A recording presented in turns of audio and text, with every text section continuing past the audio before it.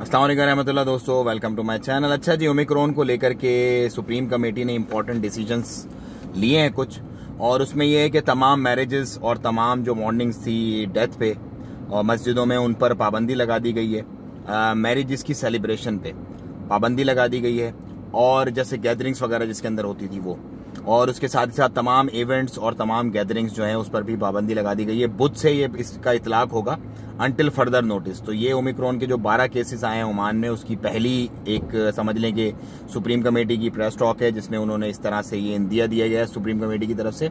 और आने वाले दिनों में मजीद जो जो चीज़ें होती रहेंगी, वो मैं इंशाल्लाह आप लोगों के साथ शेयर करता रहूँगा। लेकिन पैनिक ना हो, परेशान ना हो, क्योंकि सेफ्टी मेजर्स ऑफकोर्स लेने हैं।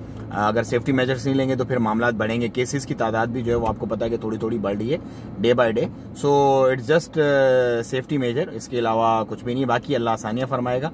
जैसे जैसे अपडेट्स आती रहेंगी, मैं आप लोगों के साथ शेयर करता रहूँगा। मुझे तो इजाज़त। असल रहमतुल्ला